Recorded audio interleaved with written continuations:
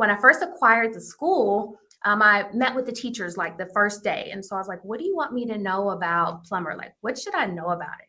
And so it was often repeated from the teachers that we're the best kept secret in Cedar Hill. People don't really know about us. The school's kind of tucked off. It was kind of like the school that was over there. Um, people weren't really at the bit to attend.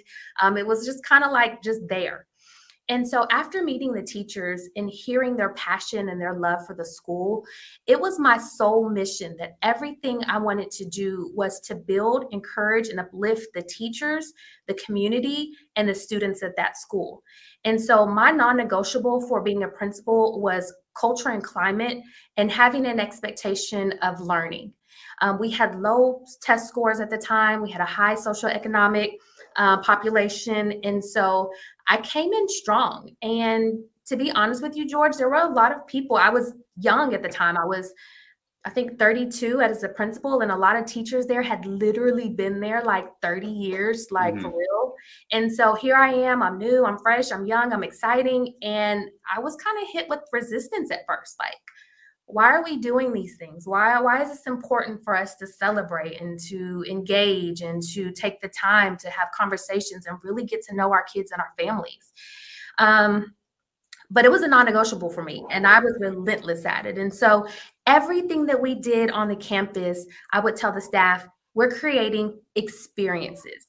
Mm. It would create every time someone steps a foot on this campus, every time you have a conversation with the teacher, every time a kid walks in your door, you are creating an experience. And what experience are we going to create on this campus? Positive culture and climate was is was the standard. And so, for example, let me give you an example. Most times when it's like meet the teacher, you just go to the school, you get a slip of paper, you show them mm-hmm. who your teacher is, and that's it. No, experiences. And so we did it like every year we had a theme. So like one year we did like it was a circus. And so we we actually made like a ticket booth. We had like red carpet, we had a popcorn machine, we had lady outside doing bubbles, we hired a DJ. Um, you went to the ticket booth to get your ticket to find out who your teacher was. And then the clowns took you down the hallway to, to, to the room. We decorated like we made people when they walked in that building feel like wow. And when you do that you're setting that tone that number one they care enough about me to create an environment to make me feel welcome. Um, and then mm. you see kids eyes light up we were in a low socioeconomic school. My kids didn't have those experiences that the kids across town had. So they may not have been able to go to the circus. They might not have been able to go to a concert or to have different people come into the campus. And so I didn't let that be an excuse. I brought those experiences to my kids and to my family and to my community. And I'm so very proud of that. And so everything we did. So, for example, I Deion Sanders came to our school to talk to our dad. Let me tell you, you know what, let me tell you this story. So we had all pro. So my again, I was building culture and climate, and I, I I, knew that there was a lack of fathers and dads in our schools and the presence of our students. So I wanted to to cultivate that. I wanted to generate getting father figures, getting dads involved in the school, and so we had an all dad, all pro dads program. And so I'm like, uh, I really want wanted go big. I really want someone who's credible, who can speak to the dads. So this is when I first got on Twitter. I was not who I am now on Twitter. I was like, like nobody, and I'm still a nobody. I'm but, dying. Are you? You? I'm like, I'm dying right now. I'm dying. You. I know so what's coming. I, I'm dying. Well, let me tell you. So I literally, so Deion at the time lived in Cedar Hill, which is where yeah. our district is, and so I knew he lived there. And so I got on Twitter. And one day I tweeted him and I was like, hey, Deion, I was like, I'm a principal in Cedar Hill. I need you to come to my school August, no, October is like October 29th for All Pro Dads Day. Well, of course, I didn't hear anything. Is Deion Sanders, right? so the next day I get on Twitter. Hey, Deion, I know that you saw my tweet yesterday. You didn't say anything, but I need you to come October 29th for All Pro Dads Day. George, I lied to you, and Twitter's open, so you can go back and look years ago. I tweeted that man every single day, every day, every day for over a month. I had kids get on there. Hey, I love it. Come, come talk to my dad about being a dad, or what? Like, I had teachers get on there every day I would wear like a jersey and be like, what's up? Like, so, um, and, and, so I never forget one day I was, uh, my, my girlfriend, my best friend, she got married and I was in Jackson, Mississippi over the weekend. And so I was at her wedding reception and I pulled out my phone to tweet him because he didn't respond for like the 45th day.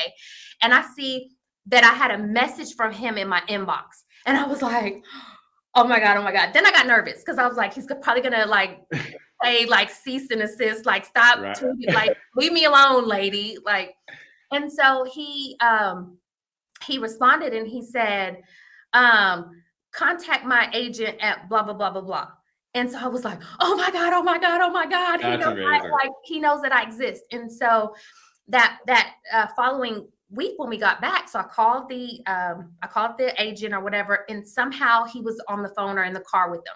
And so I was like, the first thing I was like, Deion, I don't have any money. I can't pay you. I know that you're worth everything. I said, but I need you to come to my campus. The kids deserve it. The dads need to hear from you. Like, please, like with everything in me, just come to our campus. Our, you know, our community needs you. He was like, girl, uh, it's October. You know, it's football season. I can't come. you know, he's like, do you not know who I am? I'm like, yes, I know who you are. I'll change the date. Whatever date you want it to be done, I'll change it. Just come.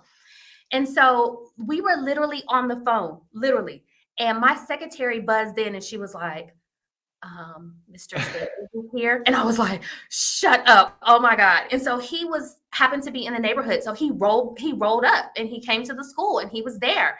And I was just in shock. And I was like, This is amazing. Deion Sanders is literally sitting here. So the power of social media. Um, but it, I didn't even know I was going to talk about that. But just just the experiences, how mm-hmm. it was so important to me. I was relentless about bringing my kids the best and, and and and highlighting it and marketing. I went to Twitter. So we had a superintendent and he came years ago and he was like, "You guys have to get on Twitter." And my first thought was, "I'm not getting on Twitter. I already have Facebook, I already have Instagram, and I don't have time for another platform." But I'm also that person like if you give me a challenge, I want to exceed it. So right. when he said that you know, we have to get on Twitter. Cool, I'm all in. Let's go. So I, I um, got on Twitter. I told my teachers, and they, of course, at first weren't receptive to it. So I said, "Hey, you have to tweet at least once a week." Mm-hmm. I mean, that's not that hard. At least once a week. Show the great things that are happening in your classroom. You're doing the work anyway. You're engaging. You guys are phenomenal teachers. When you're doing a small lesson or you're doing a, a presentation or the kids are engaged, take a picture, put it on social and so I started promoting everything every day, all the time, the great things that were happening on our campus. George, when I tell you, after four years of being at that campus, the com- culture and climate had completely changed. We went from the lowest performing district uh, school in the district to having distinctions, to performing mm-hmm. at the mm-hmm. highest level possible. We had the highest waiting list for students that want to enroll That's in our amazing. campus I mean, we were like the campus. People wanted to go to Plummer. And so, you know, I'm just so thankful that social media was a was uh, there so that the that I could show what was happening. I could share that with our parents and our community, and I could highlight the great things that were happening um, on our campuses and how amazing the teachers were, and that we created a culture in a school where kids felt important. They felt valued, mm-hmm.